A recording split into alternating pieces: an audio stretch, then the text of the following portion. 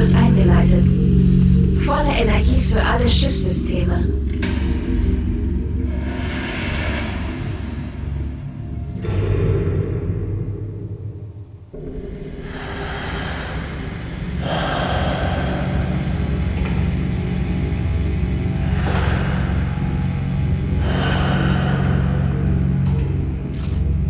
Bewusstsein wiedererlangt. Wahrscheinlichkeit für Gedächtnisverlust hoch. Beginne mit Erläuterung der Ereignisse vor dem Kryoschlaf.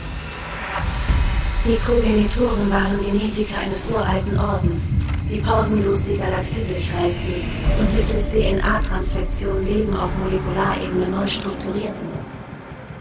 Es gab fünf Arten der DNA-Transfektion. Jede trug Eigenschaften in sich, wie sie auf den Planeten vorkamen, wo sie entdeckt wurden.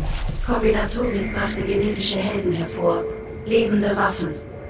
Die höchste Errungenschaft war der Transfektion, das Maß aller Dinge. Aber ihre Erschaffung reichte nicht aus. Man suchte nach Methoden, um sie noch mächtiger zu machen. Schließlich entdeckte Progenitor Xylan die exponentielle DNA, eDNA. Man hoffte so, neue Schliffenergebnisse bei der Transfektion zu erzielen. Doch die eDNA erwies sich als instabil. Bei allen Testsubjekten kam es zu Mutationen. Sie wurden zu Darkspores. In den Laboren der Progenitoren erschlugen sie galaxieweit ihre Schöpfer. Schließlich kam es zum Krieg. Und an dessen Ende waren alle Sterne deiner Zivilisation untergegangen. Deine genetischen Helden vernichtet. Die Progenitoren ausgelöscht. Von den Darkspores. In den letzten Stunden versetzte man ausgewählte Progenitoren an Bord von Kryoschiffen in Stase und verbarg sie an geheimen Orten überall in der Galaxie. Das KI-Netzwerk Helix wurde auf den Schiffen neu installiert, um den Zustand der Progenitoren zu überwachen und die Studien zur Stabilisierung der eDNA fortzusetzen.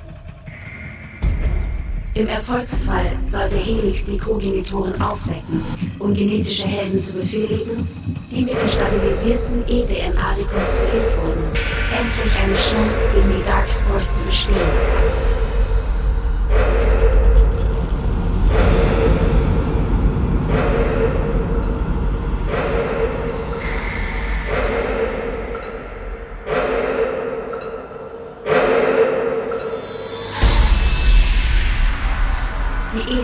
eDNA-Stabilisierung ist abgeschlossen, Progenitor. Rekonstruierte genetische Helden stehen zum Transport bereit und warten auf Anweisung über die Fusionsleitstelle. Herzlich willkommen zu einer neuen Ausgabe von Game Genuss. Klicke auf Start, um eine simulierte Darkspore-Begegnung einzuleiten und dich wieder mit der Steuerung vertraut zu machen. Also wie ihr schon mitbekommen habt, geht es hier um das neue Spiel von Electronic Arts, Darkspore, was Mitte April rauskommen wird. Ich habe hier schon einen kleinen Ausblick auf die offene Beta. Und darum schauen wir uns das Ganze gleich mal zusammen ein bisschen an. Ich habe keine Ahnung, worum es genau in dem Spiel geht oder wie die Steuerung ist. Ich lasse mich mal Das überraschen. ist Blitz, ein Held des Typs Plasmagenese. Sein legendärer elektrischer Zorn hat ihm den Namen der tobende Sturm eingebracht. Blitz wird vom Schiff aus per Fernsteuerung kontrolliert.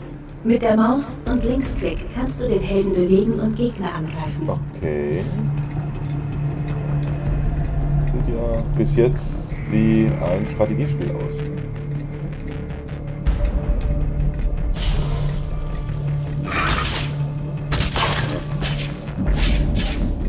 Okay. Sieht aus wie eine Diablo-Variante.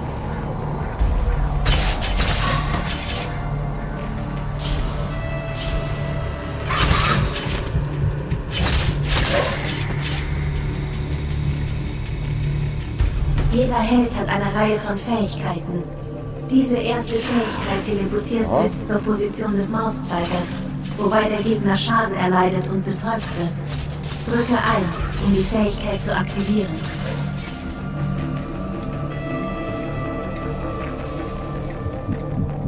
Ja, also. Hm, spielt sich wie so ein Standard. Ähm, Jeder Held verfügt über eine passive Fähigkeit, die immer aktiv ist. Bei Blitz ist das tödliche Präzision. wodurch die Chance auf kritische Treffer erhöht wird. Merke.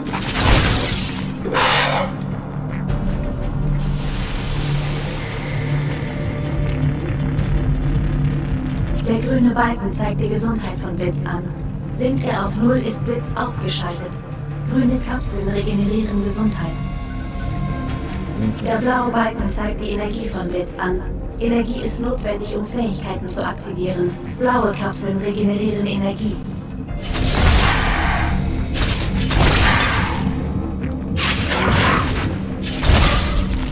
Juhu. Ein Metzelspiel.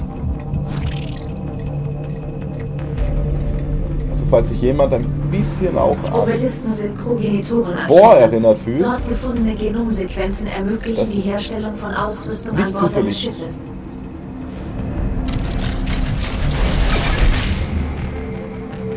uh, was auch immer, eine Alpha-Eva-EMF-Barriere. Klingt interessant. Nehmen wir mal mit. Genomsequenz erhalten. Sie kann bei der Transfektion zur Optimierung deiner Helden benutzt werden.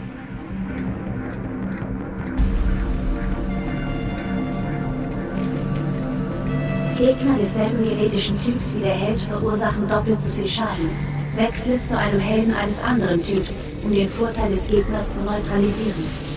Sage, der Lebensförster, wird freigeschaltet. Sage ist ein Held vom Biogenese-Typ.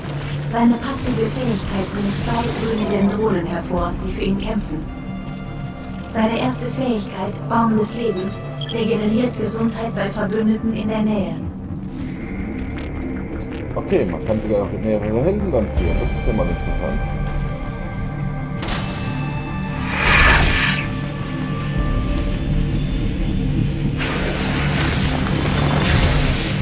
Okay. Heldenwechsel nicht bereit.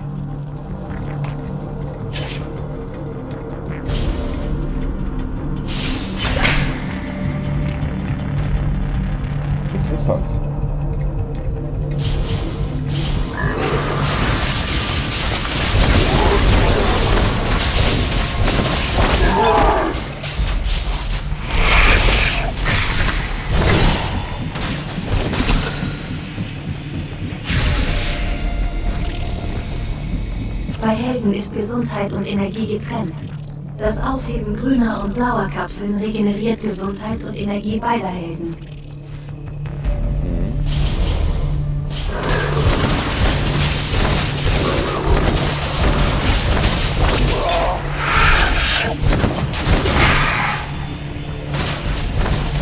Ich sehe schon, das wird ein sehr interessantes Spiel für Multiplayer. Von den Progenitoren zurückgelassene Teleporter ermöglichen den Zugang zu abgelegenen Gebieten des Planeten.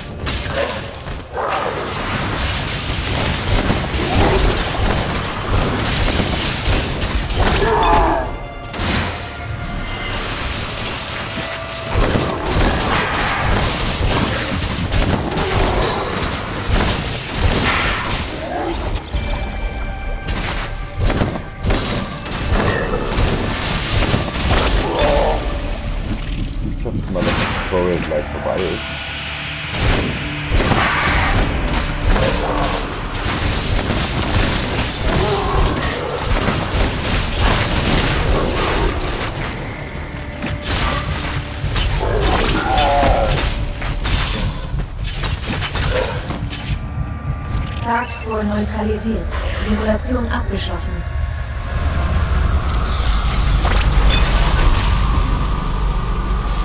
Okay, Tutorial scheint durch zu sein. Dann können wir mal gleich angucken, was wir noch für Möglichkeiten haben in dem Spiel. Ah, Unterdeck. Arsenal. Gruppenverwaltung und Unterbringung rekonstruierter genetischer Helden. Wähle einen Helden aus, um ihn zu aktivieren und einer Gruppe hinzuzufügen. so, was haben wir denn hier?